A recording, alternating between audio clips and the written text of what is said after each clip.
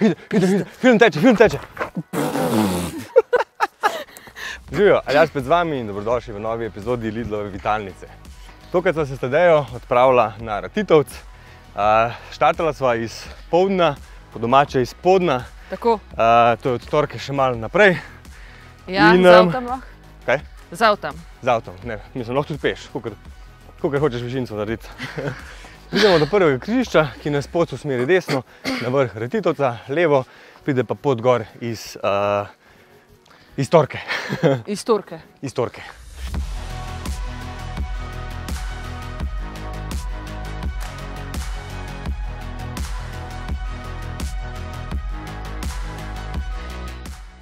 Uh, Retitovc sestavlja več vrhov. Najvišji vrh od njih pa je Alte Maver. Uh, Alte Maver meri 1678 metrov, uh, pod njim pa je Krekova koča, ki je pa znana po svojih flancatih, to, kar bo tudi mi danes degustirala.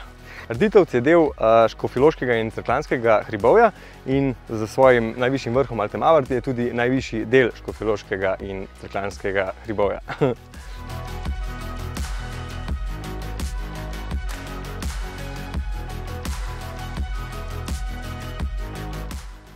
Ko se izune skalnate poti pospnemo naprej na to travnato pobočje, nas se pot spremeni v tako dobro hojeno stezo in nas pripelje vse do vrha koče, krekove koče na Retitovcu.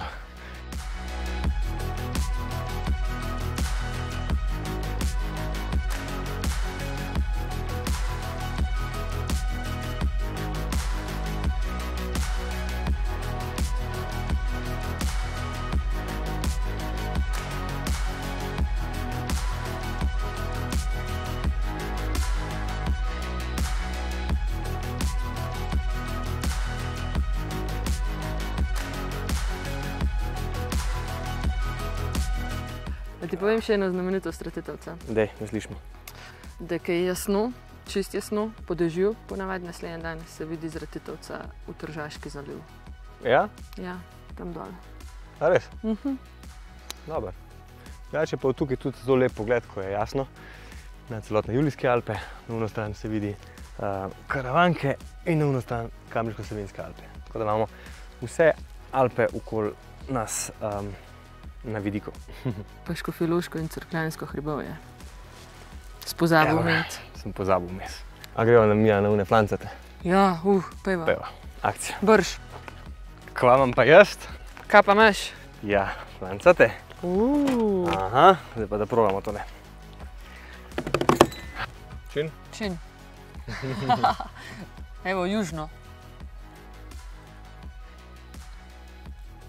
Mm. Mm. Mm. Jaz sem zaradi tega hodil na Ratitovce. A už drugi let prijatelj Ratitovca? A to meni koliko spomnil? Najmanj 15 krat. 15 krat v enem letu, uh Mhm. -huh. potem si prijatelj Retitovca. Uh -huh. Ej, Aljaš. Mm. A bova še enega, ki so res dobri. Až da sem isto mislil. Pa Zdaj, ker sem jaz že pojedel, pogledam tebe, kaj še kaj ješ. Ki so res dobri. Ne, greš pa fanti. Leko koš. Leko koš. Ne izgleda tako, kako glava od kokoši.